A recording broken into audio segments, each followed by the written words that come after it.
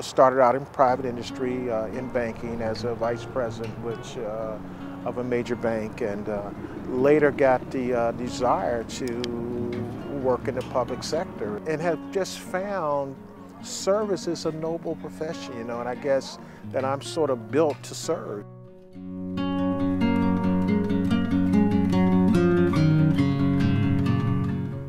Well, as you can see, the lot is a dump. the lot was used as a dump. So we're now getting back to what history has taught us, that land can be used and reused to help generate a quality experience for the residents that reside. This is four acres of opportunity.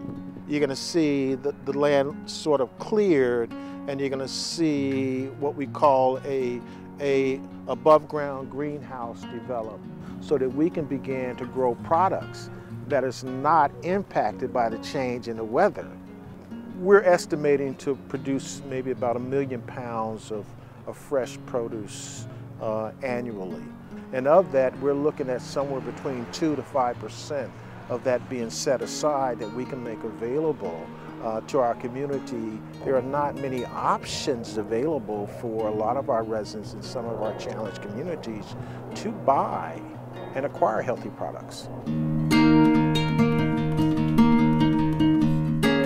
It would normally take maybe about two or three hours because you gotta get everybody ready to get on the bus. You gotta get transportation for the bus. You don't I mean you don't have a car, so it's kind of hard when you don't have a car and you have a lot of children. You got little ones, you got older ones.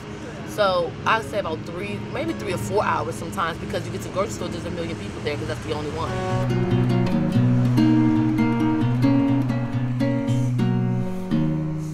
We're looking at uh, BrightFarms as being a movement toward a solution to a bigger problem, and that is how do we then better manage our food supply so that we can increase the quality and the accessibility of healthy foods in our communities. This is a, another way in which uh, I can use my talents and skills to uh, bring about impacts that benefit uh, the community.